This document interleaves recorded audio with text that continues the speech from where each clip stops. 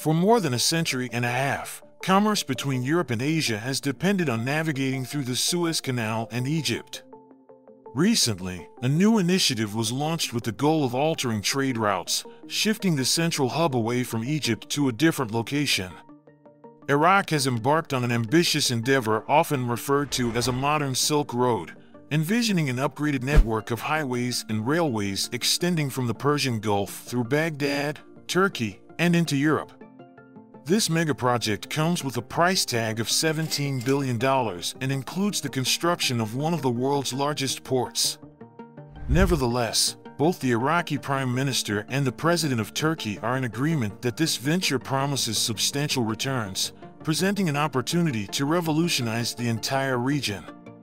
Today, let's delve into Iraq's upcoming $17 billion corridor that will rival the Suez Canal. Don't forget to click on that subscribe button and like this video as it's the best way to support this channel. To grasp the audacity of attempting to rival the Suez Canal, one must appreciate the immense importance the canal holds. Since its inauguration in 1869, the Suez Canal has profoundly shaped Egypt, a significance that is difficult to overstate. By linking the Red Sea to the Mediterranean, it established the fastest maritime route between Asia and Europe via Egypt. This strategic advantage has not only enriched the country through toll revenues, but has also catalyzed the emergence of entire new urban centers over the decades. In 1956, the Egyptian president's declaration of the canal's nationalization precipitated a crisis that escalated into conflict just months later giving rise to the infamous Suez Canal crisis. Despite this, Egypt's geopolitical prominence continued to rise throughout the latter half of the 20th century. It's clear why controlling a crucial segment of one of the world's most lucrative trade routes can fundamentally transform a nation. Therefore, it's understandable why other Middle Eastern nations maintain a somewhat complicated relationship with the canal. Countries ranging from Saudi Arabia and Iran to Iraq rely on its strategic passage. In fact, Iraq actively supported Egypt's nationalization efforts in 1956. Despite their reliance on the canal, these nations have at the same time pursued alternative measures to reduce dependency on it. For instance, in the 1980s, Saudi Arabia constructed the East-West Pipeline, also known as the Petroline, a 746-mile dual pipeline system spanning the Arabian Peninsula. The Middle East has generally reaped rewards from the Suez Canal's nationalization, yet these gains have been unevenly distributed. Trade flourished across the region, but Egypt specifically enjoyed substantial direct income, increased foreign investments, and significant infrastructure advancements. In contrast, other nations have experienced more modest and indirect benefits. For decades, various Middle Eastern countries have quietly deliberated bypassing the canal, but until recently, no comprehensive and actionable plan had been announced to realize this ambitious vision. But everything changed in April 2023, when Turkish President Erdogan journeyed to Baghdad, where he finalized an agreement with Iraqi officials the agreement aimed to enhance economic relations, address Iraq's water access needs, and notably, establish a new trade corridor. A month later, the specifics of this corridor were unveiled, stunning the global press. It emerged as perhaps the most audacious trade infrastructure initiative announced in the Middle East since the Suez Canal. Turkey and Iraq plan to construct highways and railways extending from the Persian Gulf through Iraq's oil-rich southern region, traversing the entire country and crossing into Turkey, where it would link with established European networks. This monumental project will carry immense significance, offering shipping companies an alternative to the steep tolls of the Suez Canal.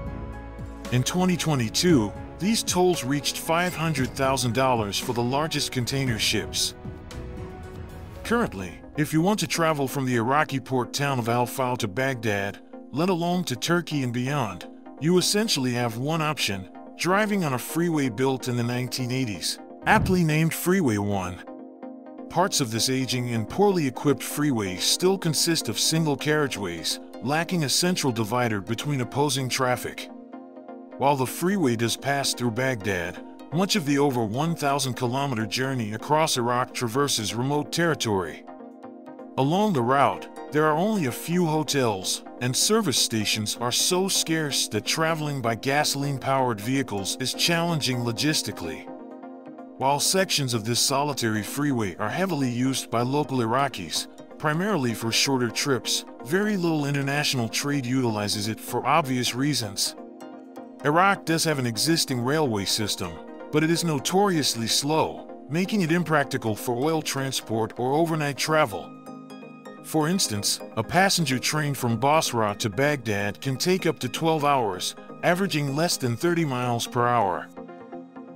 For decades, Iraqi leaders have been frustrated by the fact that when looking at the map, the route from the Persian Gulf to Europe should be the most direct and efficient. This optimal route is exactly what Turkey and Iraq announced their intention to construct in May 2023.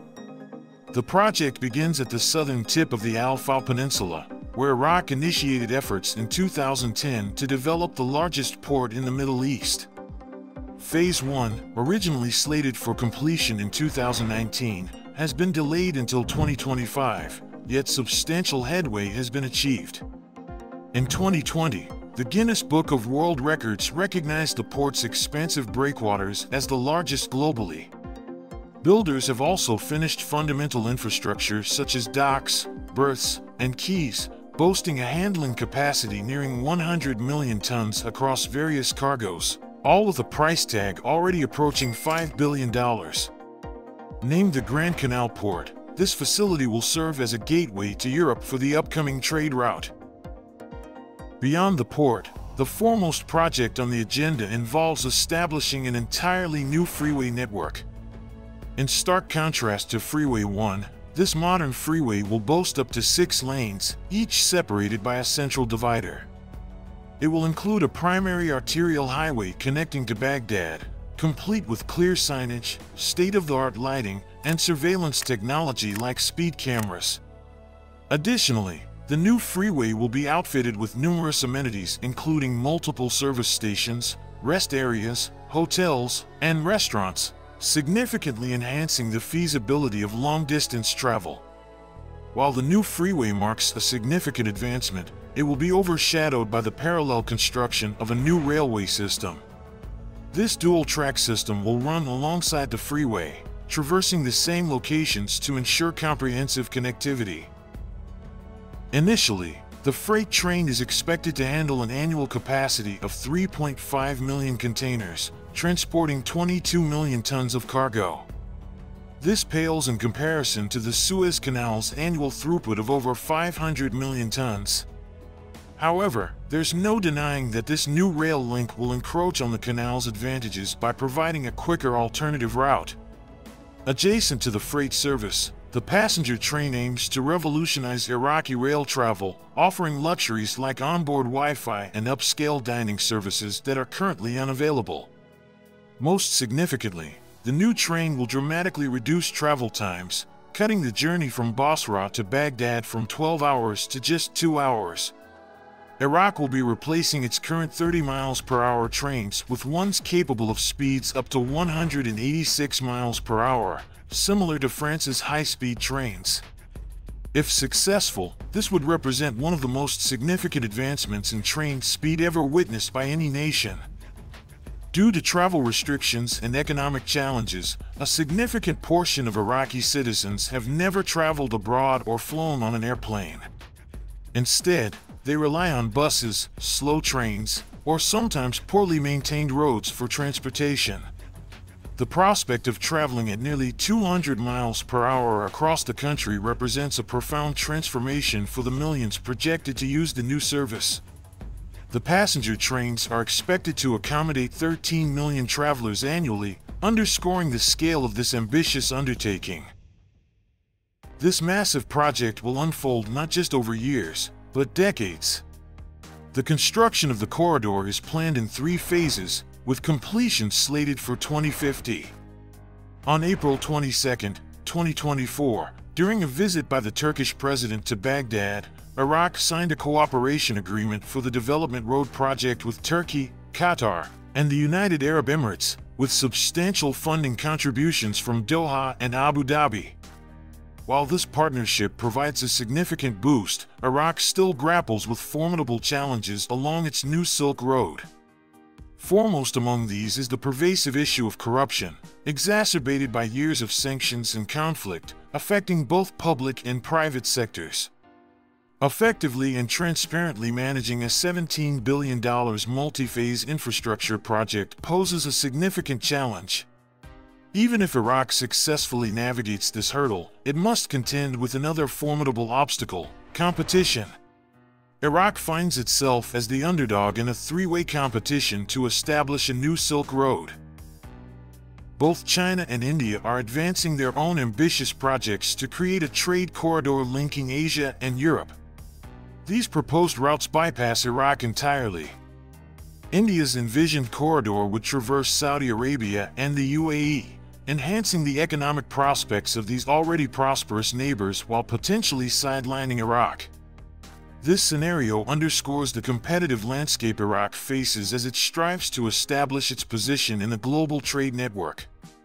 To rival the Suez Canal, Iraq must forge ahead despite pervasive corruption and fierce competition from other nations vying for the same opportunity.